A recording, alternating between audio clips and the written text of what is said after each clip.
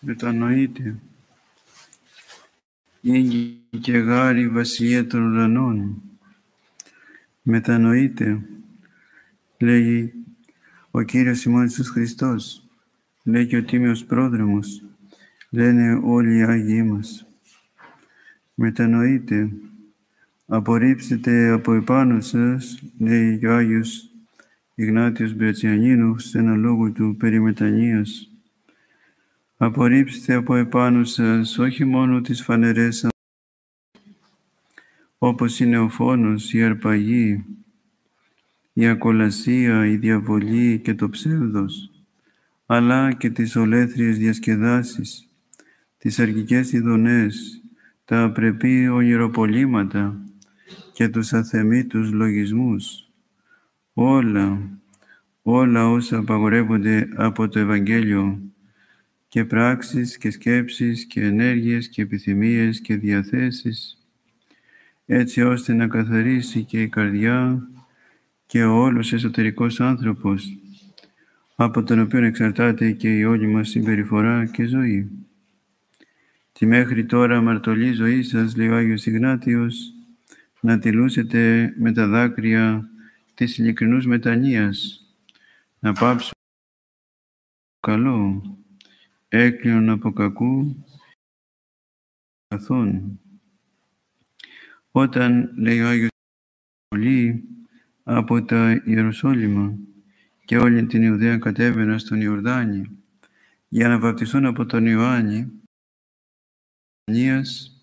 εξομολογούντος αυτόν τις αμαρτίες των, όχι επειδή ο Άγιος Ιωάννης ο Βαπτιστής είχε ανάγκη να γνωρίζει τις αμαρτίες των προσερχομένων σε Αυτόν, όπως λέγει ο Άγιος Ιωάννης της Κλίμακος, στον δέρτο λόγο του, αλλά διότι ήταν ανάγκη χάρη της σταθερότητας της μετανοίας τους, μαζί με τη λύπη τους για τη διάπραξη των αμαρτημάτων, να συνενώσουν και την εξομολόγηση των αμαρτιών τους.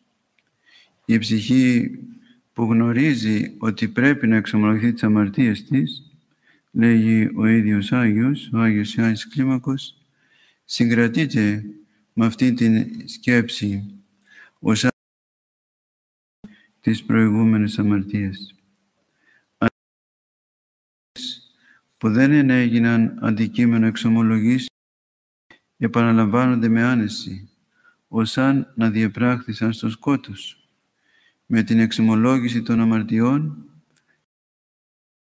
η φιλική μας σχέση προς αυτές.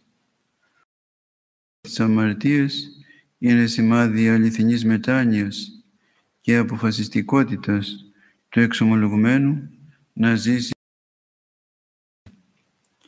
Πολλοί ερωτούν άραγε, άραγε μετανοώ.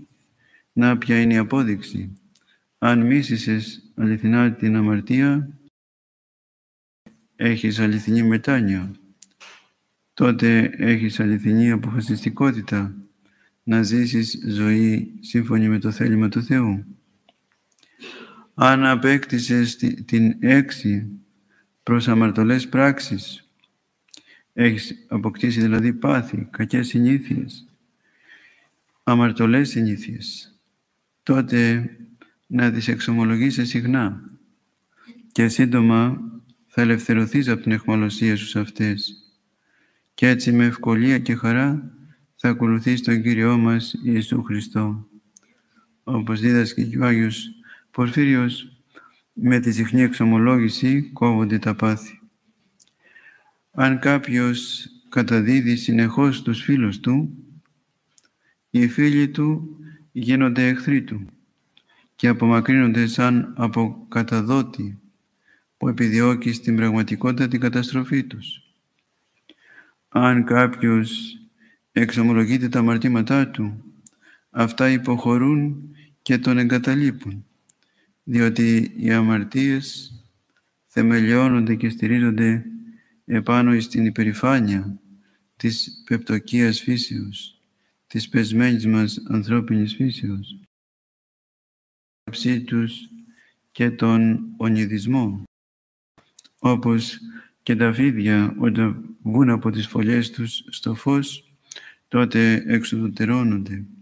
Έτσι και όταν κάποιος αποκαλύπτει τις αμαρτίες του, τα πάθη του και τους λογισμούς του, τότε τους εξολοθρεύει, τότε καθαρίζεται από τα πάθη.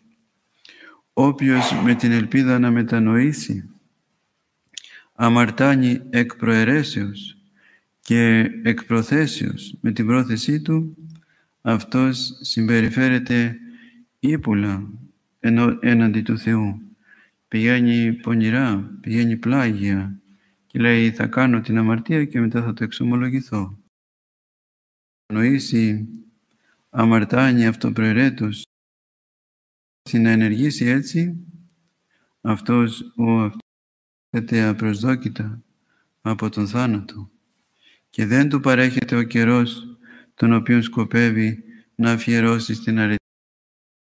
Λοιπόν, αφού θα εξομολογηθώ, ας το κάνω ακόμα μια φορά. Δεν φοβάσαι το θάνατο; Μήπως συμβεί αυτό που λέει εδώ ο Άγιος; Γιατί πας πονηρά, δεν έχεις μετανοήσει. Πας πλάγια προς τον Θεό. Και τότε λέει η Γραφή και ο Θεός θα έρθει πλάγια σε σένα. Και υπάρχει φόβος πριν καν προλάβεις να εξομολογηθείς, να πεθάνεις. Όπως έχει συμβεί πολλές φορές αυτό. Κάποιος νέος που πήγε να εξομολογηθεί στον δρόμο, πέρασε από ένα πορνείο και είπε ας κάνω ακόμα μια φορά την αμαρτία και μετά θα εξομολογηθώ. Μπήκε μέσα στον οίκο αυτό της αμαρτίας, αλλά δεν βγήκε. Άφησε εκεί μέσα την τελευταία του πνοή. Με το μυστήριο της εξομολόγησης ρίζονται και εκπλήνονται τελείως όλες οι αμαρτίες που έχουν διαπραχθεί εν λόγω ή έργο ή διανία, αρκεί όπως είπαμε να είναι αληθινή, ειλικρινής η μετάνοια, για να εξαλειφθούν από την καρδιά οι αμαρτωλές συνήθειες που με την πάροδο των ετών έχουν ριζώσει μέσα της, χρειάζεται να εμένει κανείς συνεχώς και σταθερά στη μετάνοια. Η συνεχής και σταθερά μετάνοια βιώνεται ως συνεχής συντριβή του πνεύματος και συνίσταται στην πάλη με τους λογισμούς και τις επιθυμίες, με τα οποία εκδηλώνεται το κρυμμένο στην καρδιά αμαρτωλό πάθος, στη χαλιναγώγηση των σωματικών αισθήσεων και της κοιλίας, στην ταπεινή προσευχή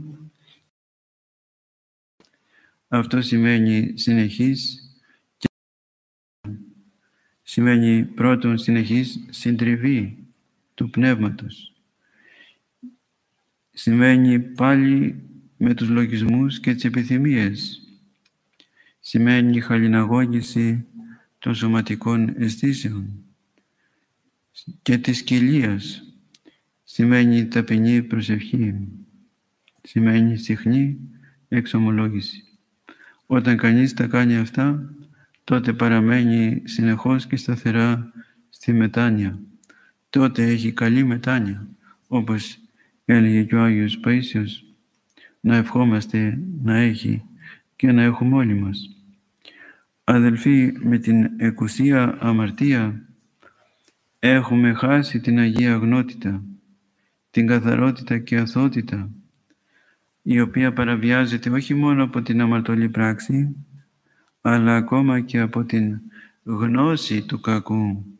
Γι' αυτό λέγουν οι Άγιοι, ούτε να θέλεις να γνωρίζεις το κακό, την αμαρτία, πόσο ζημιά κάνουν εδώ τα μέσα μαζικής εξαπάτησης που συνέχεια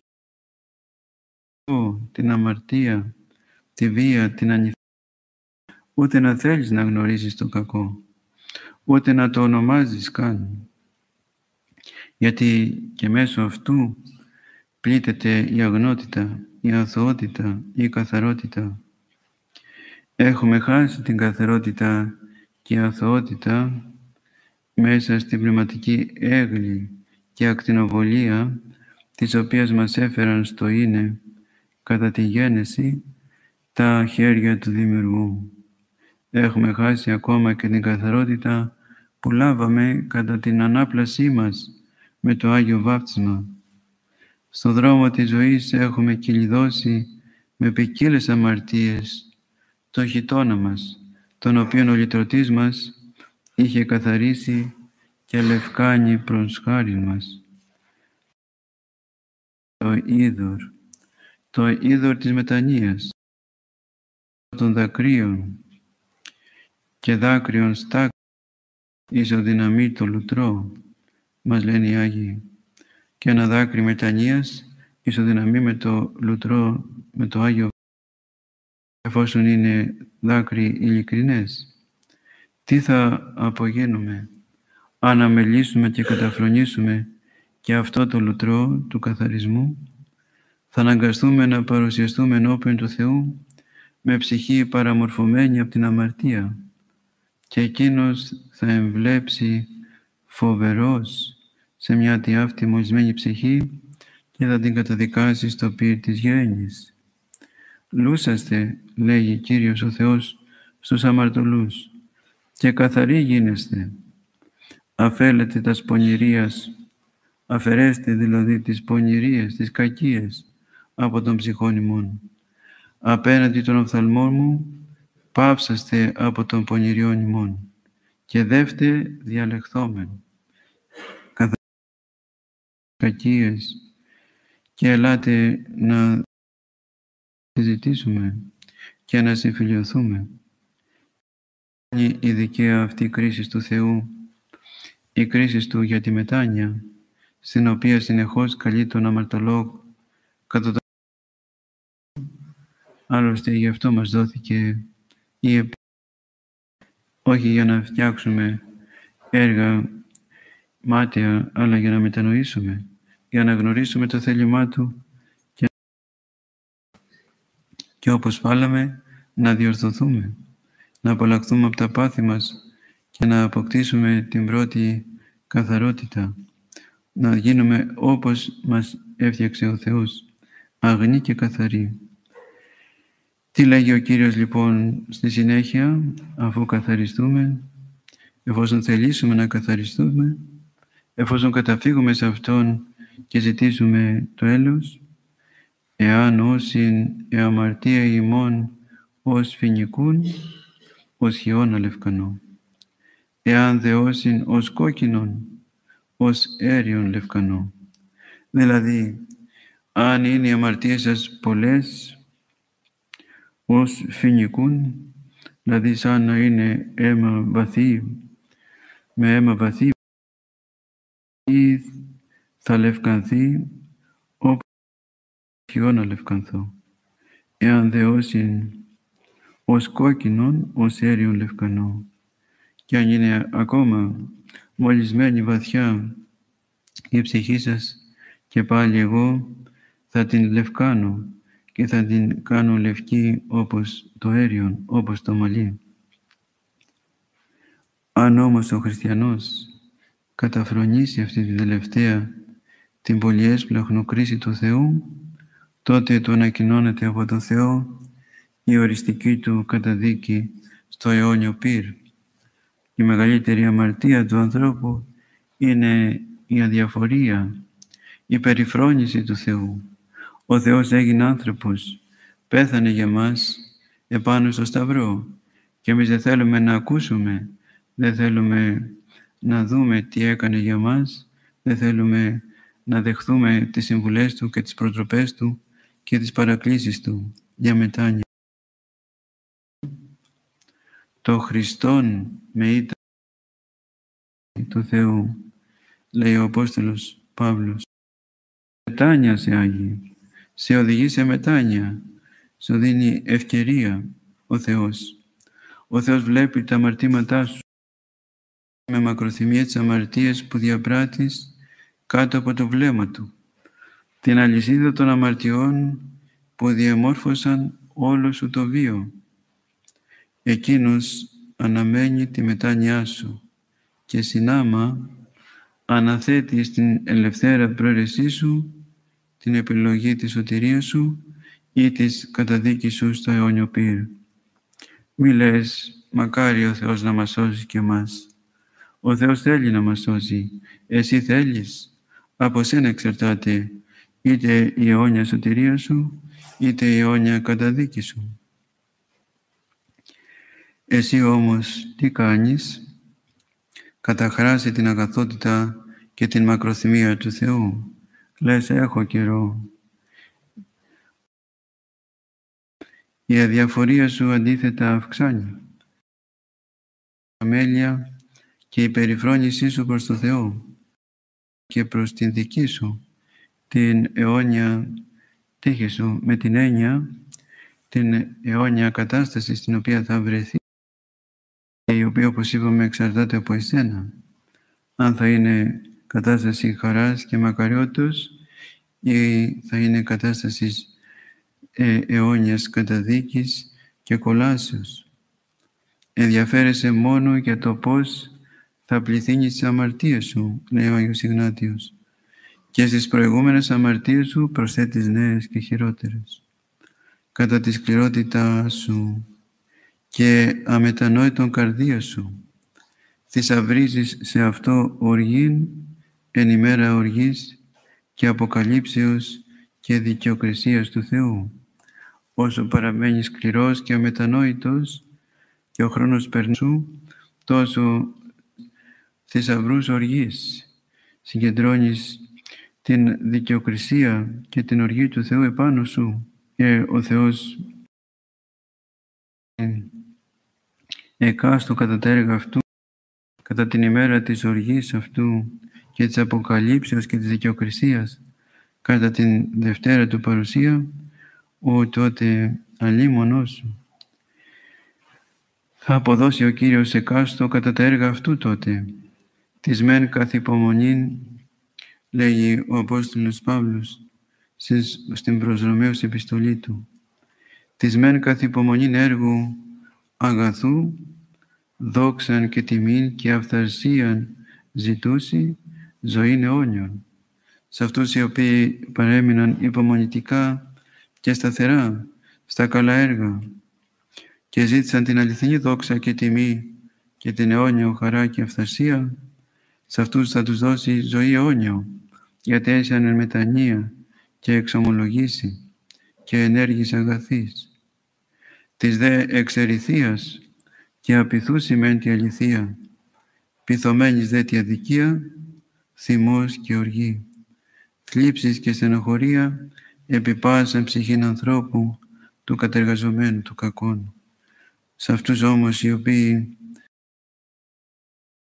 από γογγισμό, από και από απίθεια δεν ακολουθούν την αλήθεια και δεν υιοθετούν τις εντολές του Θεού και δεν τις εφαρμόζουν, αλλά αντίθετα πείθονται στην αδικία, πείθονται στον πονηρό, στην κακία, σε αυτούς θα ακολουθήσει θυμός και οργή, θλίψεις και στενοχωρία σε κάθε ψυχή ανθρώπου που κατεργάζεται το κακό. Ως πότε άραγε θα χανόμαστε, ως πότε θα παραμένουμε μετανόητοι, έως πότε θα πεθαίνουμε τον αιώνιο θάνατο, η να τι αποθνίσκεται οίκος Ισραήλ, λέγει το Πνεύμα του Άγιο. Χάνονται τόσοι χριστιανοί με τον αιώνιο θάνατο, για το λόγο ότι σε όλη τη διάρκεια της επίγειας ζωής τους δεν κάνουν τίποτα με την αθέτηση των υποσχέσεων που έδωσαν και με τη δουλεία τους στην αμαρτία χάνονται διότι δεν κρίνουν το Λόγο του Θεού άξιο ακόμα και της παραμικράς προσοχής τους, το Λόγο που κηρύττει το μετά, την μετάνοια. Ας ακούσουμε αδερφοί το Λόγο του Θεού, ας μετανοήσουμε, ας ζήσουμε σύμφωνα με το Άγιο Θελημά Του, όχι αύριο, όχι αργότερα, αλλά εδώ και τώρα. Ας το αποφασίσουμε και έτσι θα αξιοθούμε της αιώνιας χαράς και μακαριότητας το δε Θεό ημών δόξα πάντοτε, νυν και αΐ και εις τους αιώνας των αιώνων. Αμήν.